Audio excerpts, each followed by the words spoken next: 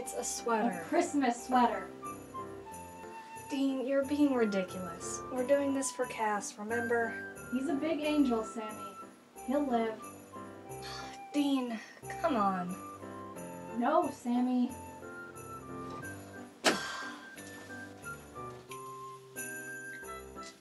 Hey Cass, it's Sam. Can you come home and talk to Dean? He won't come out of the bathroom with his sweater on, and he'll listen to you before he'll listen to me.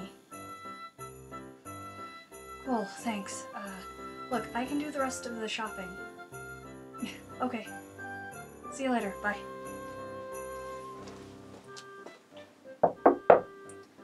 Dean, will you please exit the room with your sweater on?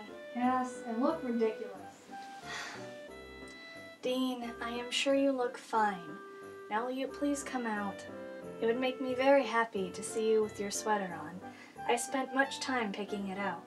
Yes. Dean, Fine. No pictures. fine, I can accept those terms. Now will you please come out?